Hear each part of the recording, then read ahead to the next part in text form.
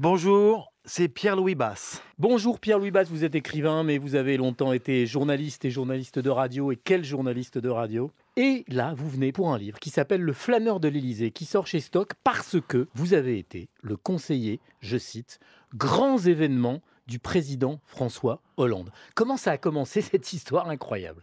Euh, ça commence, euh, ça commence tout de suite comme un roman, hein, Guy, parce que c'est un, euh, un peu comme dans les, dans les livres d'ailleurs de Illis. Vous savez, il y a beaucoup de portables avec des messages qui clignotent. Donc là, c'est un SMS. Oui, c'est un SMS qui, que, que j'aperçois. Je suis en train de boire des coups, comme tout bon urbain ou parisien, de temps en temps qui sort, et, je reçois le SMS et, c'est un message du président de la République. Donc, que faites-vous et, où êtes-vous? Et vous vous mentez, parce que vous dites je suis là. C'est notre dernière petite liberté, euh, Guy Birenbaum. C'est notre dernière petite liberté. vous n'êtes pas là, en voilà, fait. en fait, je suis pas là. Je, voilà. Je, mais je suis là d'une certaine manière pour lui. Voilà. Et alors, vous y allez vous le rencontrez quelques temps après je, rencontre euh, tout d'abord euh, Jean-Pierre Jouillet, en, définitive. le secrétaire général. Oui, le secrétaire général qui m'appelle euh, courant du mois d'août. C'est déjà un peu un pincement parce que Jouillet, c'est pour moi une référence quand même des grands corps d'État et, c'est un personnage pour lequel j'ai beaucoup d'admiration et de tendresse, il le sait, mais que je connaissais déjà un peu de, par son parcours. Et c'est lui qui m'appelle, qui, organise le rendez-vous. Et alors là en face du président. Bah, que vous connaissez Peu, oui, mais il avait salué euh, l'un de mes livres parce qu'il aime beaucoup le, sport, le football en particulier. Et vous savez, il avait parlé, il avait évoqué le Séville 82. Et là, euh, et là, il avait aimé ce livre. Bon, on se connaissait peu. Et là, euh, bah, il me, il me, voilà, il me fait des propositions précises du point de vue de la mémoire. Et ce, qui est, ce qui est extraordinaire, et je le dis, même si je vous connais bien et que je vous aime beaucoup, c'est un livre qu'il faut lire parce que c'est un livre d'écrivain. C'est pas un conseiller de l'Élysée qui raconte sa life dont on se fout. Et dans ce livre d'écrivain, il y a des choses incroyables. Et par exemple, bah, il y a un absent. Et l'absent, c'est François Hollande parce qu'on ne le voit pas beaucoup. oui, vous voulez dire dans le livre. oui. Oui, bah, mais parce que... Vous avez du mal à le euh, voir. Non, mais comprenez-vous, l'essentiel a été tout de même dit et écrit sur le pouvoir et sur les, hommes d'État.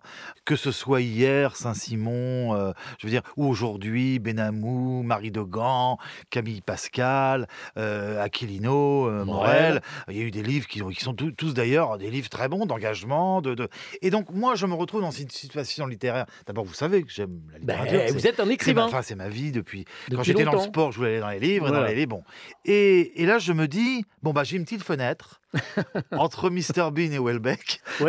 j'ai une petite fenêtre, comme une meurtrière, ah où je, je, peux me glisser. Vous savez ce que dit Paul Auster écrit une chose très belle, je me souviens dans l'invention de la solitude. Il dit, en fait, un écrivain, c'est un peu comme une maladie. On est, on, on, est, on est à côté, donc en étant à côté, on voit. donc voilà, je, je, me mets à côté tout en travaillant. Attention, je vous bossé, vous écrivez des discours. Mais on, mais on regarde. Mais vous détestez l'époque. Page 14. Notre pays avait choisi de s'épanouir sur les cimes d'une très haute vulgarité.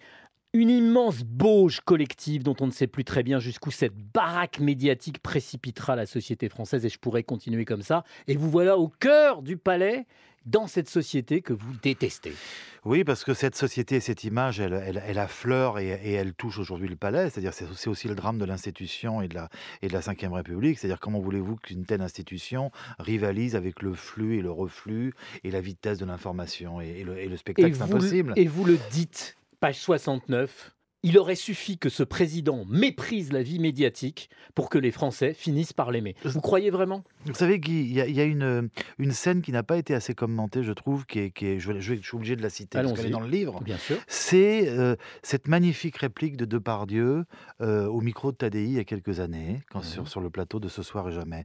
Depardieu, à un moment donné, euh, comme il est, c'est-à-dire il est lui, il est, c'est une âme en mouvement. Je suis toujours en colère quand on me parle de sa grosseur. Il est, pour moi, il est tout sauf ah oui, on s'en fout. Pour moi, on s'en fout on s'en fout. Et deux yeux, quand vous le voyez dans Mammouth, c'est un, un lanceur étoile. Et alors, qu'est-ce qu'il dit? Bah, Il dit je suis une ordure. J'ai failli, être, j'ai failli être quelqu'un de bien, mais je suis une ordure. Il dit, vous êtes une ordure, et tous ceux qui sont derrière les caméras sont des ordures. C'est une profondeur extraordinaire. C'est, je veux dire, ça va bien au-delà de. C'est simplement le, constat que l'image a pris le pouvoir. Voilà, ce, voilà ce qu'il veut dire. On va continuer avec Pierre-Louis Basse de parler de cette société dans laquelle l'image a pris le pouvoir, et même à l'Élysée.